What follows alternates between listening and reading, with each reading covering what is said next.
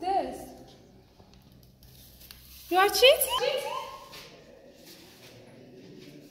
No, teacher, isn't mine. It's, it's, it's hers. What? She is lying. It's not mine, teacher. Both of you, come with me now. Come with me. Come with me.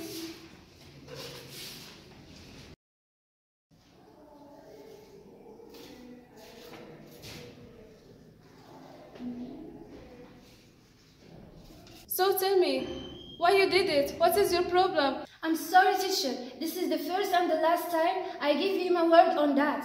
Before you apologize to me, you must apologize to your friend for this huge problem. No problem, it doesn't matter. Tell me why you did it. What is the problem do you have? Is there any lesson I can't I can't explain to you very well? No, just I can't remember all this lesson, that's why. Please give me another chance, please, teacher. Okay, it's the last time. Tomorrow you can do the test uh, alone. Okay, thank you so much.